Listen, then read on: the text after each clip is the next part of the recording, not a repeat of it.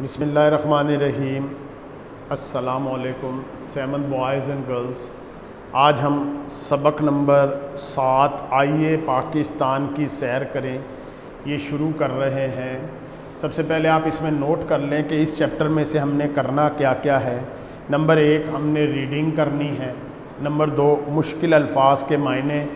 कुछ ये फ्रंट पे लिखे होते हैं, कुछ आखिर में दिए होते हैं वहाँ से। उसके साथ हमने इसकी मशक़ी सवालात करने हैं और इसमें हमने सलीस करनी है। ये चार काम इस चैप्टर में से हमने करने हैं। तो आज हम थोड़ा सा ये है कि मशक़ी सवालात में सवाल जवाब ज़्यादा हैं, लिहाजा इसको करते हैं। सवाल जवाब पेज नंबर 38 पे पहला सवाल है, सोना उगलती ज़मीन से क्या मुराद है?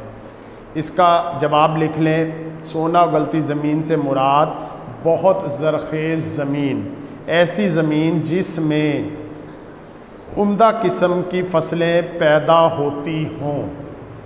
एक सवाल हो गया। दूसरा सवाल है, सुई गैस को ये नाम, सॉरी, पाकिस्तान का कौन सा सूबा रकबे के लिहाज से सबसे बड़ा है? कौन सा काट के बलूचिस्तान लिख दें? बलूचिस्तान का। तो जवाब हो जाएगा पाकिस्तान का। बलूचिस्तान का सूबा रकबे के लिहाज से सबसे बड़ा है। अगर सूबा बलूचिस्तान जवाब में लिख दें, तब भी वो ठीक हो जाएगा। सुई गैस को ये नाम क्यों दिया गया? लिख लीजिए इसका जवाब। बलूचिस्तान के जिस मकाम से सुई गैस दरियाफ्त हुई, उस मकाम का नाम सुई है इस वजह से इसको सुई गैस का नाम दिया गया। चौथा सवाल है, पाकिस्तान में बंदरगाहें कहाँ कहाँ वाक़ हैं? लिख लें, पाकिस्तान में बंदरगाहें पोर्ट कासिम और गवादर।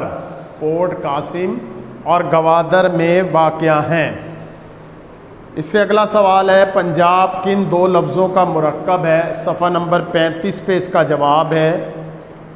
सफ़ा नंबर 35 पे नीचे से एक, दो, तीन, चार, पाँच छठी लाइन में पंजाब, दो लफ्ज़ों पंज और आप से मिलकर बना। पंज के मायने हैं पाँच और आपके मायने पानी के हैं, गोया पंजाब के मायने पाँच दरियाओं की सरजमीन यहाँ तक। छठा, छांगा मांगा के जंगल की क्या इनफरादियत है? इसका जवाब पेज नंबर थर्टी सिक्स पे आएँ। ऊपर से एक, दो, तीन, चार, पाँच छः सातवीं लाइन में देखें, ये दुनिया का सबसे बड़ा जंगल है जिसे खुद उगाया गया है। इसका जवाब ये भी लिख सकते हैं कि इसको इसलिए कहा जाता है इनफरादियत है कि ये हाथ से लगाया गया दुनिया का सबसे बड़ा जंगल है। उसके बाद है ख्योड़ा की शोहरत किस वजह है से है? इसका जवाब लिख लें ख्योड़ा की शोहरत नमक की कान की वजह से है। नमक की कान। किसकी जगह लिख लें? नमक की काम।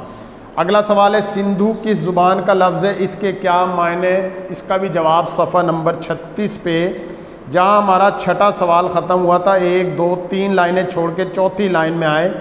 सिंध का लफ्ज़ सिंधु से निकला है। संस्कृत में सिंधु दरिया को कहते हैं। दरियाए सिंध की वजह से उसे ये नाम दिया गया है। अगला सवाल है, झील सैफुल मलूक किस सूबे में वाक़ है? इसका जवाब, किस काट के लिख दे, झील सैफुल मलूक सूबा खैबर पख्तूनख्वा में वाक़ है। हड़प्पा और मोइंजोडारो किन सूबों में है? लिख लें, हड़प्पा सूबा पंजाब में और मोइंजोडारो सूबा सिंध में। हड़प्पा सूबा पंजाब में और मोइंजोडारो सूबा सिंध में है। इसी तरह अगला सवाल है, झील मंछर और झील सैफुल मलूक किन सूबों में है? झील मंछर सूबा सिंध में और झील सैफुल मलूक खैबर पख्तूनख्वा में वाक़ है। आसान से सवाल हैं, बहुत मुश्किल नहीं है। तवज्जो और लगन से करेंगे। बार बार आपको कह रहा हूँ, कॉपी पे लिखें इसको। कल इन ज़िंदगी रही तो इसकी आगे एक्सरसाइज करेंगे। इजाज़त दीजिए, अल्लाह हाफिज़।